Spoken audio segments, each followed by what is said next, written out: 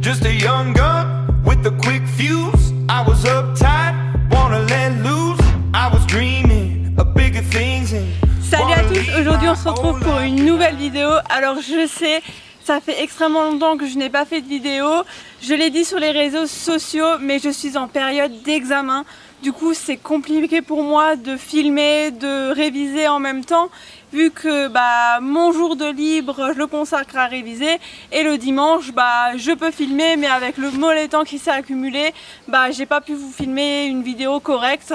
Du coup là j'en profite, il fait beau, j'ai un peu le temps entre deux révisions donc je vous fais cette petite vidéo. Du coup j'espère qu'elle vous plaira. Et aujourd'hui le sujet du jour ça va être le CAP soigneur d'équidés et le bac pro CGEH. Qu'est-ce que c'est? Je vais vous apporter mon expérience, vous dire mes points de vue, les avantages, les inconvénients, tout ce qui a trait à cette formation parce que j'en vois beaucoup qui recherchent euh, cette formation et je vais vous dire ce que moi, moi qui l'ai faite, ce que j'en ai pensé et tout et tout. Voilà, allez, c'est parti, on commence tout de suite.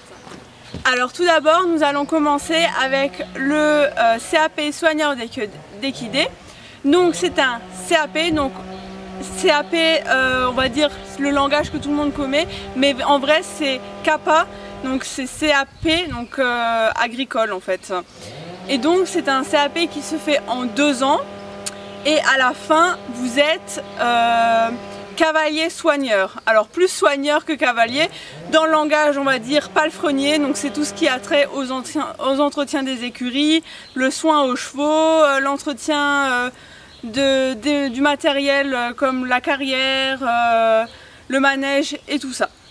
Donc ce n'est absolument pas une formation pour devenir cavalier professionnel. Il faut ça que, euh, que les gens qui veulent faire ça, c'est absolument pas pour devenir cavalier.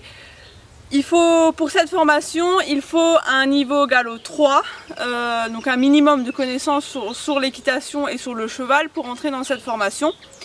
Moi, en Alsace, on a deux centres de formation. Donc, le centre où j'ai fait mon apprentissage, c'est le lycée d'Aubernay, donc qui est un CFA agricole. Et vous avez euh, le lycée euh, de Ramonchamp, qui lui est une euh, MFR, donc maison familiale rurale, qui elle fait la formation mais en alternance. Donc qu'est-ce que l'alternance et l'apprentissage? L'apprentissage, vous travaillez, vous êtes salarié à 35 heures ou plus si jamais. Vous avez 5 semaines de vacances dans l'année euh, et vous êtes payé. L'alternance, les patrons recherchent plus de l'alternance parce que du coup ce sont des stages que vous êtes euh, la même fréquence qu'en apprentissage mais ce sont des stages donc vous n'êtes pas rémunéré et du coup bah vous avez les vacances scolaires euh, normal, on va dire ça comme ça.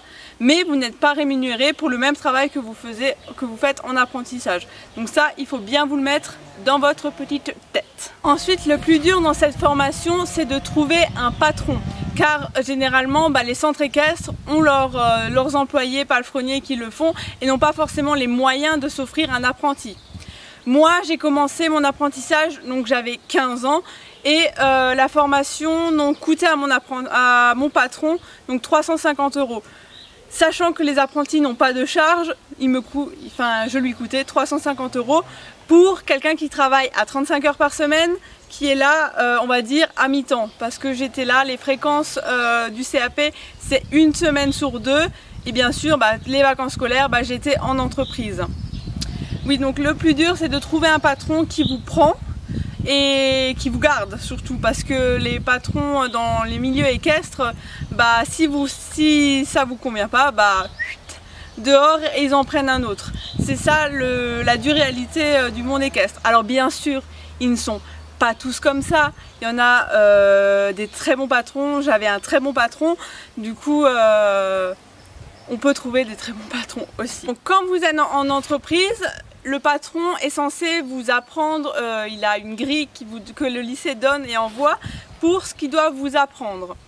Les patrons aiment généralement bien ne, pas regarder cette grille et en faire un peu qu'à leur tête. Pour eux, vous leur coûtez pas cher, mais vous faites le boulot, donc ils aiment bien bah, vous faire euh, les tâches un peu pas sympas et vous montez pas beaucoup à cheval.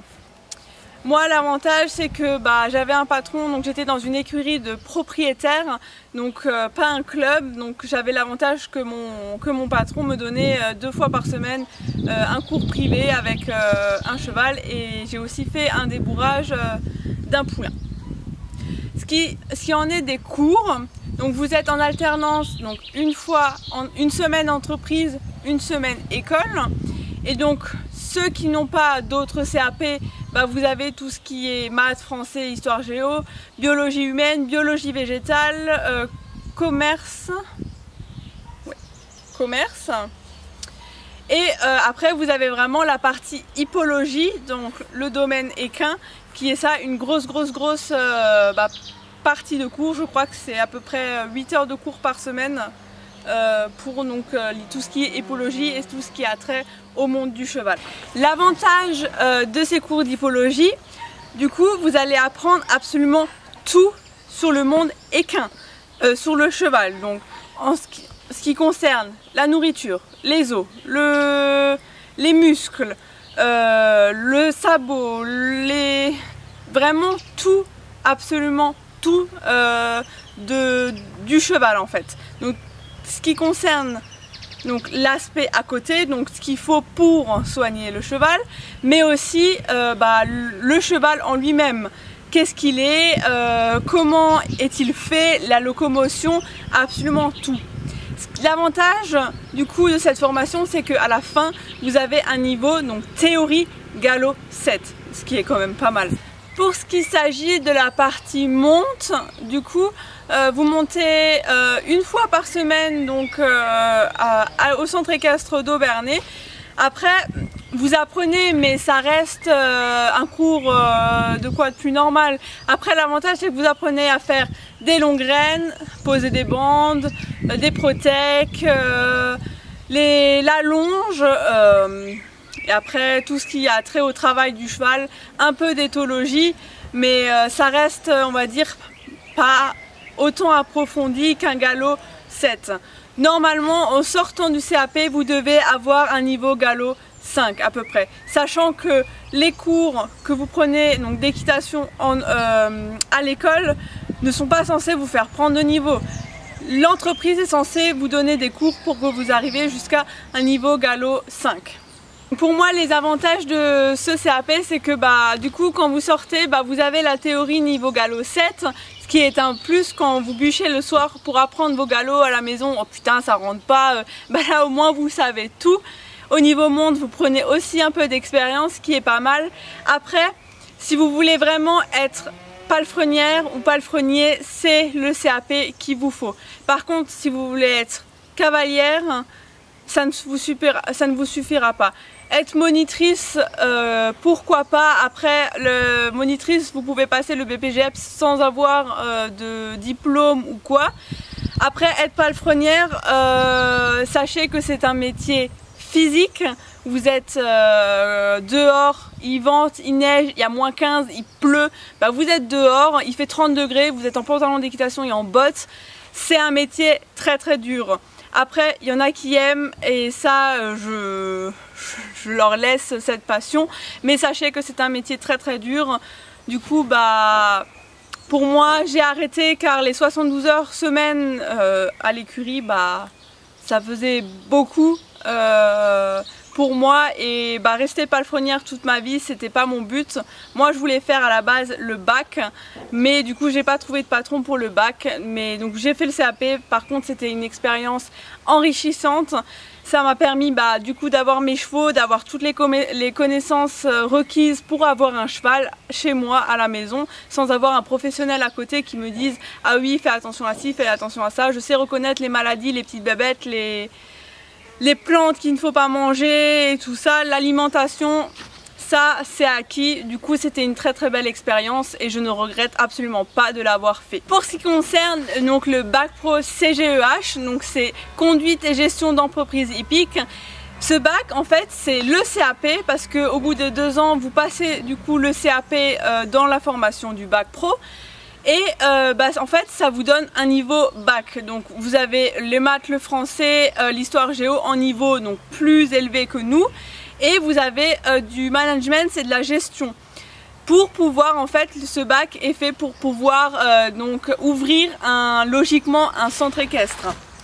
Et dans cette formation aussi, donc là c'est une semaine en entreprise et trois semaines en cours, ou parfois vous avez des alternances deux semaines, deux semaines, ça dépend. Euh, et du coup, bah, les patrons n'aiment pas trop prendre euh, des apprentis en bac pro parce qu'ils sont payés comme un salarié, euh, bon, un, un salaire d'apprenti, ça tourne dans les 500-600 euros, mais ils ne sont là qu'une semaine dans l'année. Du coup, ça revient à payer un employé euh, à temps plein, comme si elle payait un, employé à temps plein pour une semaine, mais euh, du coup, lui serait là toute la semaine, enfin tout le mois, et ben nous, on est là qu'une fois dans le mois. C'est ça qui, que les patrons n'aiment pas dans ce type d'apprentissage parce qu'on n'est on pas souvent là. Et du coup, bah, dans ce cursus de, de bac pro, là par contre, en sortant du bac pro, vous avez donc au niveau théorie un galop 7 mais aussi au niveau pratique parce que du coup vous avez tout ce qui a trait au travail du jeune cheval. Donc euh, dans votre entreprise euh, ils vous donnent enfin ils sont censés vous donner un jeune de 3 ans et vous devez faire le travail entièrement dessus euh, jusqu'à la sortie en concours niveau club.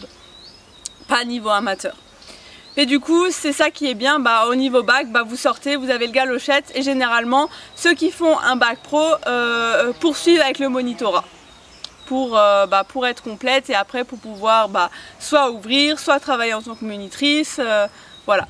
Mais comme dit, il n'y a pas beaucoup de, de patrons qui prennent, c'est une filière très très réduite, du coup bah, il n'y a pas beaucoup de candidats et c'est souvent les meilleurs qui, sortent et qui après bah, trouvent du travail et, ou partent dans d'autres régions pour, euh, pour faire plus de formation ou aussi euh, montent dans l'échelon euh, pour faire une licence, un master, voilà.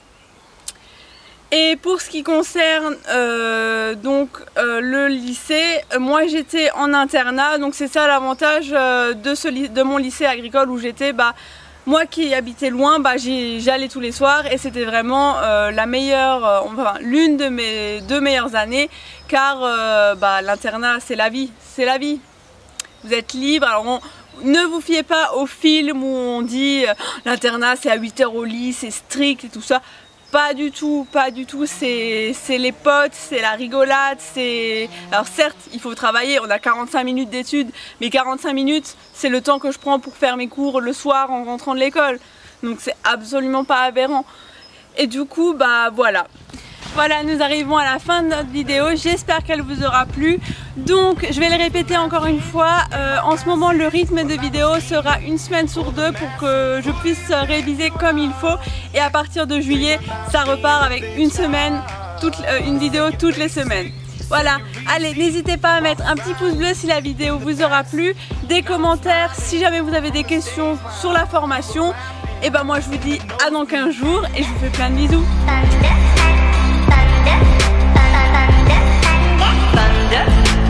thunder, thunder.